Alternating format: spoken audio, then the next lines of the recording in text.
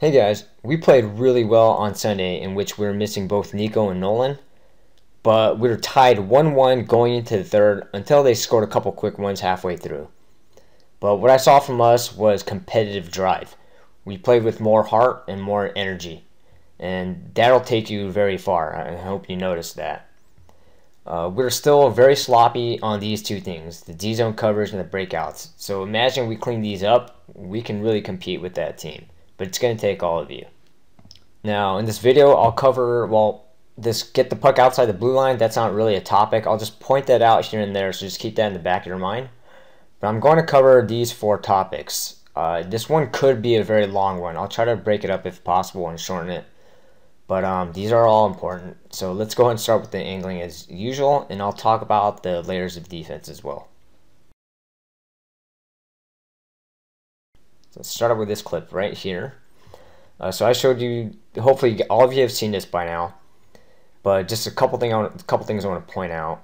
And this is talking about um, if this is your goalie, it's better to be more in the middle of the ice. So you see the X there, and you know, that's not a good spot. You want to be there, and it's going to show a little check mark. Okay, cover more the inside, you know, the middle area of the ice. So you're forcing them to go to the board. Now this part's important too. This gap that he talks about, um, this one half stick length. What happens is if you start turning too late, like if you start going like this, then that player's just gonna burn you, as some of you might have noticed in that practice. Um, if you turn a little bit too early, that's not as a that's not as bad of a mistake, but they're gonna cut inside of you if you let them do that. So you're gonna have to recover and catch them. All right, so just something to keep in mind. Let's start this first clip right here. So you're going to see number one, Maddie take the puck. And you can already tell John, his feet are just pointing towards her. And I can already tell, like right here, he's cooked. He's going to have to kind of pray and get it. And she easily gets around him. And you see Carter, he's already turning too early. His stick is on this side. All right, your stick's on this side. Remember, you're enticing him to go the other way. And she said, thank you. Watch this. Oh, thank you. I'll take that inside. Good. But these two guys angled well. And one thing I want to point out, I was yelling from the bench too. I probably talked more than I should have this game, okay? So apologies for that. But watch Xander real quick. Okay, I was saying back, back, back. He, you got to start seeing that she's gonna, uh, she's gonna dangle around these guys and try to. This is where that layers of defense comes in. She gets through one, guess what? She has to go through a second one and a third one. Okay, so this is great on Xander's part. Back checking hard. Okay, I should call it back checking really. I wish you slowed up just a little bit, Xander. Like right here, you should start already going towards her. So you can lock her stick up. Okay, but good job back checking right there. This was really well done by Jay. Do not be afraid of the body contact. All right, you see him get stick on stick, move his body out of the way, go get the puck. Okay, well done. Is that penalty? Uh, not not really. You shove the guy really hard, yeah, they'll call penalty, but I thought that was pretty clean for the most part. So great job on Jay. All right, first of all, Carter, you got to be watching the play more, okay? I maybe someone's calling you. You just do a split second check, but you gotta watch the play. I'm gonna show a clip later where you you missed the puck completely. All right, so you get a late step on him. And you see Manny trying to get him too. If you feel he has a step on you, start going back toward your goalie. Don't keep pushing towards him because he's just gonna burn you. Now again, Xander, because I was yelling from the bench, he was back checking hard, and that made all the difference. As you'll see, he didn't have a crystal clear breakaway. He had a partial breakaway, but he had to just shoot it, and he couldn't dangle. So that made a huge difference. Uh, one thing too, guys, don't do these drive-bys. You got to hit the brakes in front of the net, because now 99 is left by himself. One of you has to cover 99. Uh, so that was an example of the layer defense, not so much the angling. All right, one simple thing is uh, when they go behind the net, you let them come out of that net first. So what I mean by that, I mean there's only two seconds, so it, it was it didn't really matter, or there's no consequence, I should say. But watch Xander, right? He went past the net. Well, guess what? Then they're gonna try to cut inside of you, and a lot of players will try to do that. We don't want to force them to the middle. We want to force them to the outside. So to do that, slow down a little, let them pop out of that net first, and put your stick on that inside lane. Start guiding him to that board. Don't don't entice him to go inside. Um, Rand, yeah, you want to do the same thing. You're uh, hold on, so go back a little bit. You see Rain's kind of trying to attack him head on, and we don't want to do that. Right? We, we want to, like for you, I would just stop, wait for him to come out, and then start skating with him. So easy way to stop, easy way to stop them from, uh, you know, people like Maddie trying to go end to end all the time. All right, here you can see cars get cooked pretty easily. Okay, so you're flat-footed. This skater's going head on, and so this is called the uh, the good old fishing. Okay, just go straight at him, miss, game over. Pretty easy. It was not even a challenge for him. But you see Manny, you see Preston. Preston's probably backing off a little bit early here, like he's already turned around. Okay, you want to start looping in, have your feet sideways, and start coming up with him. But uh, great job angling overall. Like watch Manny track him. Okay, and he has no chance getting around both Manny and Preston.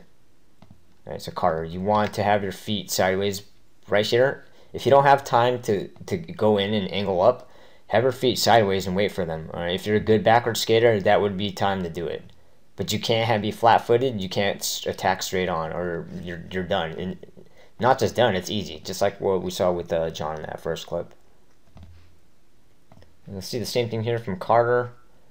Don't think about getting the puck really. Just think about trying to skate with them. Okay, it's way too easy. It's not even a challenge right there. I mean, you might as well put we call them pylons right there.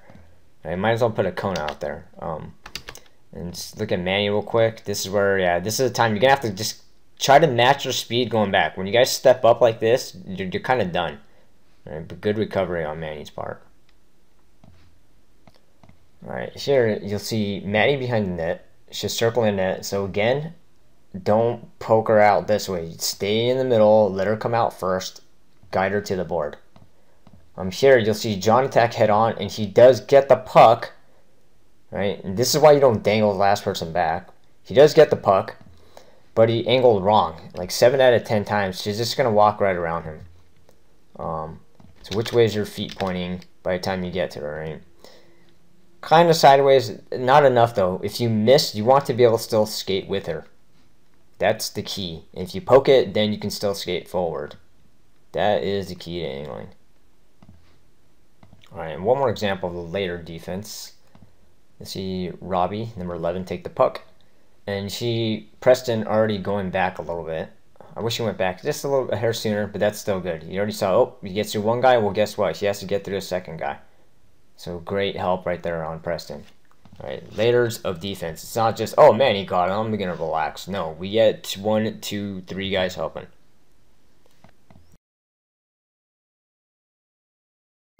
All right, next, let's talk about the face-off alignment in the D zone, and this will naturally lead to these both of these things. I don't know why we have so much trouble with this, so we're going to go through each one and explain it. It should be a quick section, but it's going to overlap again with these two. Alright, starting off right here. We do have four on the line, but I want Carter on the inside. I want Julia on the outside. Alright, let's go over our responsibilities real quick. So we have one, two, three, four.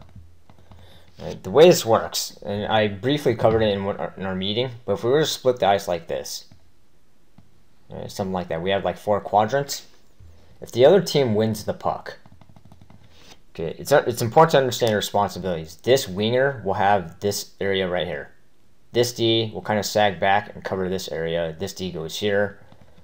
This winger will go probably up here. And the center will help in this middle area. So I know all that looks confusing, so let's just do this. Okay, so D, D, wing, wing, and the center will kind of help out mainly with the D. All right. So we lose the face off. The winger who is here would step right up here somewhere. The winger is on the outside would go up here. Now, uh, hold on. Off the uh, if we win the face off. Okay, so let's say we throw it back this winger should go start going straight to that board. This winger will just stay put. Okay, we don't want to just go chase the puck. That's the worst thing to do. Um, this D can either stay in front of net. If you have time to go behind the net, I talked about if your defensive partner is behind this net, you can stay in front or off to the side. In this case, you're already in front. Just stay there. That's fine. If your D partner needs help, let me erase that. So like he's getting forechecked right away, you sag back down here for that D to D pass immediately. Okay, and then we set up that trapezoid. I know we have all these things in the way, but you guys should already know what that looks like. Alright, so this is a minute later. You two switch places, which is good. But off the face-off, you'll see Carter just backing up, which you don't want to do. Your responsibility is this guy here, so he can't just whack a shot right away. Uh, one thing I've not mentioned to you guys, but I will say it here. Don't win it to your goalie. Win it to the board or straight back if you can. Uh, I don't want that. If you win it clean, sometimes it'll be an sh actual shot on the goalie, which is not good. As you'll see here. Okay, so you have to win on the forehand if you're a righty on that side. Okay, so wins it back clean, to the goalie. And you see Carter already backing off. Let me back that just a tad. Okay, your job is to make sure 17 doesn't get waxed at it. So you got to stay there. Yeah, you do not back off. All right. Here, um, there's no way one out of five of you don't know what to do. So you see John telling Jay, hey, move over, move over. Right? He usually knows what to do. So trust John, at least on the face-off line. You're going to see him mess up a little bit right after this. So I'm telling Jay, move over. So now John steps up. Okay. Now off the face-off, it's going to that side. There's no reason for any of you on this side to walk all the way over and go to the puck. Right, the D lined up here is responsible for this guy right here, or this middle of the net. This winger should start stepping up right here somewhere. Now, it's fortunate Jay didn't step up, even though he's supposed to, because John moves all the way over, and it's right in front of our goalie, but Jay whacks it out. That's why it's important to know your responsibilities. Alright, so here we line up incorrectly. And you'll see the puck wins that way. Jay gravitates that way. Does not help. We cannot have that. So as we see here, Manny gets the puck. And he's got nobody to throw it to. Ideally, our wing would sit right here. And once we want it, we goes right to the board. But he has nobody to throw it to. Now, Manny, if you have a little more confidence, or any of you D, I instead of just throwing the puck away, that is a safe play. But if you feel confident or stick I would just get the puck and just go back to the quiet zone. Make a setup. Alright. So he throws it out, like I said, to nobody. And lastly, here's our uh, defensive zone alignment. Incorrect again. But our positioning was good. We'll get into defense D-zone coverage, but pretty dang good right here. Where, watch, we got Rain going after the puck and U4, bit of a box. That's ideal. That's what we want to look like. We're not all just chasing the puck.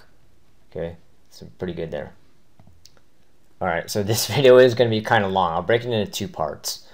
Um, we just covered these two, but this face-off is going to kind of squeak into the, both of these two. Alright, so the next part I'll cover these two important topics. See you in the next video.